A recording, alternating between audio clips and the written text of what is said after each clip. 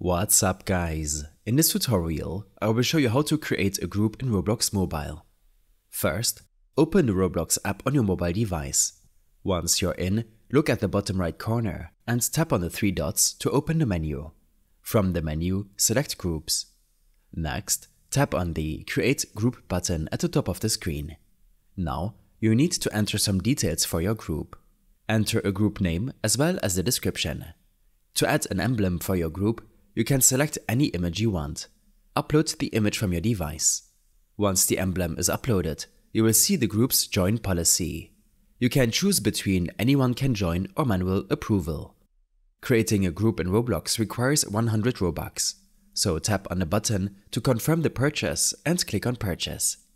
After the transaction is conducted successfully, your Roblox group will be created. I hope this helped you out Leave a comment if you have any questions and see you in the next one.